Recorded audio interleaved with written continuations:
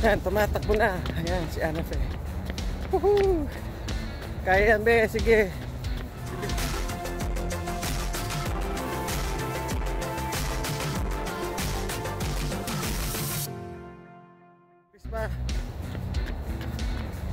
Okay, malapit na. Actually, makaka 5 miles tayo.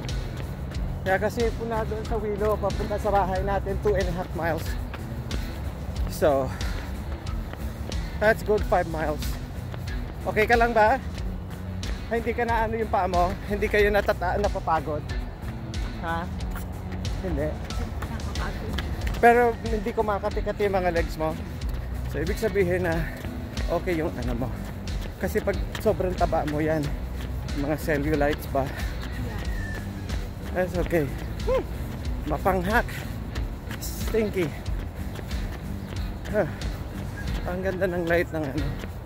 Yan. Yan ang goal namin ngayon. 5 miles. Si Anak eh. Ay, ayan be. Sige, takbo pa. We can do it. Mga bicyclist. Yan. Kayang-kaya yan.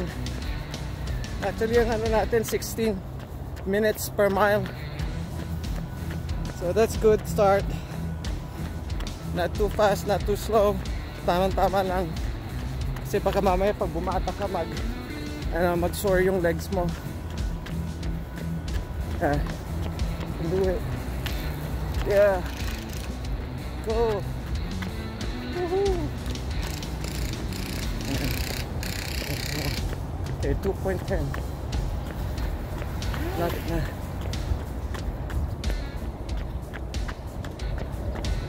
Sige.